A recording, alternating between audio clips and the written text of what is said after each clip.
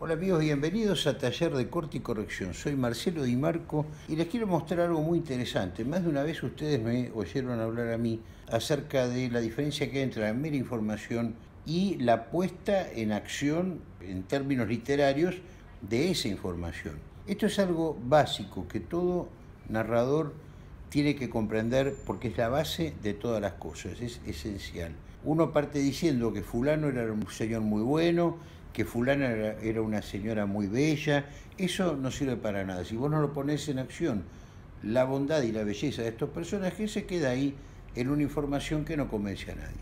Y ahora ustedes están viendo a este señor que está acá en la pantalla, Inti Brugnoni, que está trabajando una novela realmente sensacional y que el miércoles pasado trabajamos una zona determinada de su novela y hemos aprendido un montón de cosas que queremos transmitirles a ustedes. Es muy interesante, muy jugoso el ejemplo. ¿Cómo murió este hombre? De diabetes. Le terminó dictando su última novela a la mujer, así, estaba ciego, con las manos amputadas, terrible.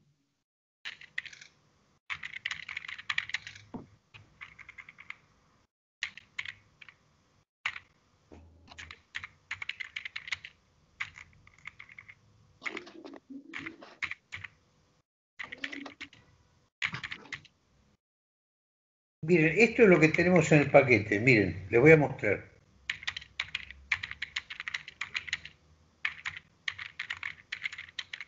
Esto es una escritura normal, ¿ven?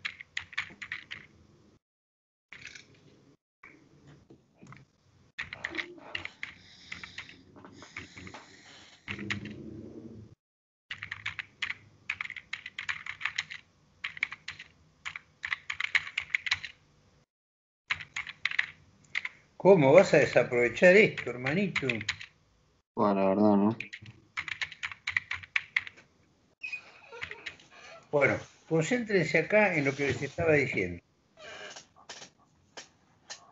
Pienso en la terrible muerte de su padre, ciego, dictándole su última novela a la mujer, las manos amputadas a causa de la enfermedad de la diabetes. Bueno, diabetes es como enfermedad. Esto es lo, lo normalito que les decía a causa de la enfermedad de la diabetes. Miren esto, ¿eh?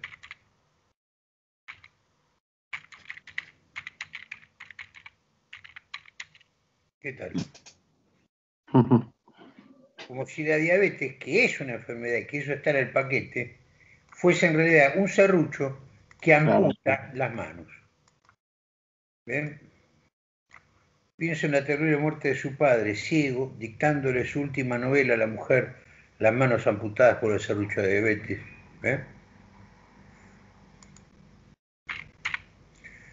Pienso en la vida terrible de Dan. ¿Qué le pasó a este hombre? Tuvo una vida loquísima también, súper alcohólico, con intento de suicidio, creo.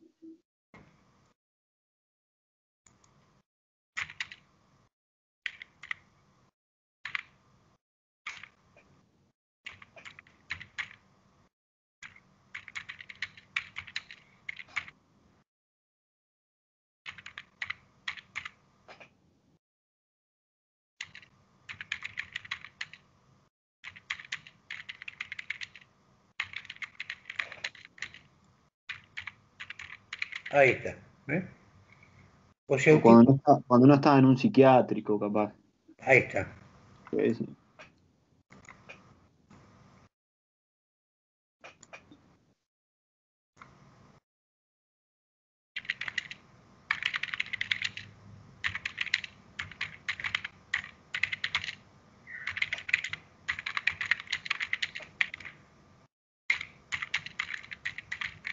Ese es el tono de tu personaje. ¿ves? Claro. Pienso en la vida terrible de Dan ahogándose en alcohol cuando no se pasaba unas merecidas vacaciones en el loquero. Ahí está. Entonces siempre podemos encontrar una manera distinta, literaria, potente, para decir exactamente lo mismo. El cómo es el qué. El cómo es el que determina el qué. Pienso en la terrible muerte de su padre, ciego, dictándole su última novela a la mujer, las manos amputadas por el serrucho de la diabetes, pienso en la vida terrible de Dan, ahogando en la vida terrible del mismo Dan, ¿ves? Porque estás hablando de él. O sea, pienso en Dan, y pienso en la terrible muerte de su padre, y pienso en la vida terrible del mismo Dan, ahogándose en alcohol cuando no se pasaba unas merecidas vacaciones de loquero.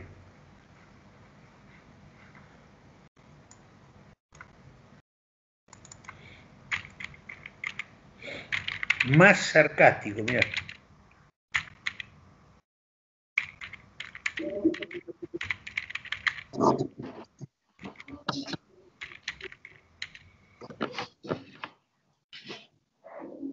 Entonces, piensen, anoten, anoten esto por ahí. Fue internado en un psiquiátrico, pónganlo, ténganlo ahí como una ficha. Fue internado en un psiquiátrico. Eso es lo literal. ¿Estamos de acuerdo? Sí, correcto. Bueno, pongan una flecha y al lado pongan disfrutó de unas merecidas vacaciones en el loquero.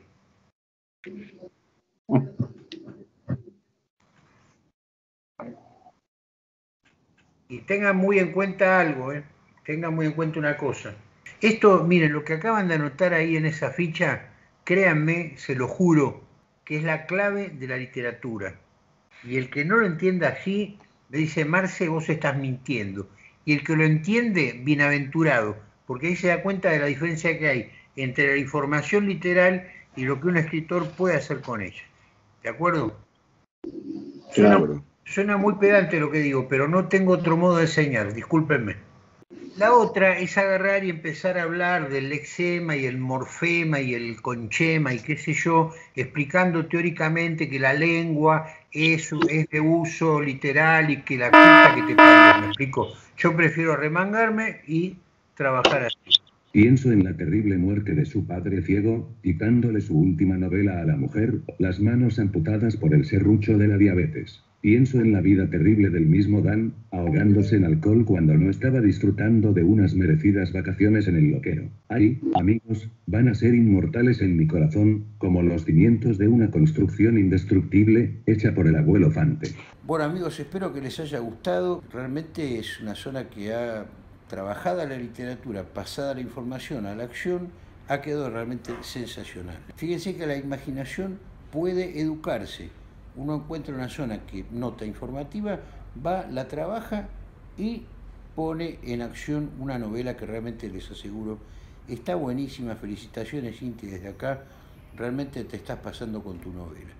Y si ustedes quieren trabajar también con nosotros en el taller de corte y corrección, vengan, vengan porque no se van a arrepentir. Eso sí, quedan muy pocas vacantes, apúrense y escríbanos a esta dirección que les estoy dejando acá. Hasta pronto, like, compartir si les gustó. Chao.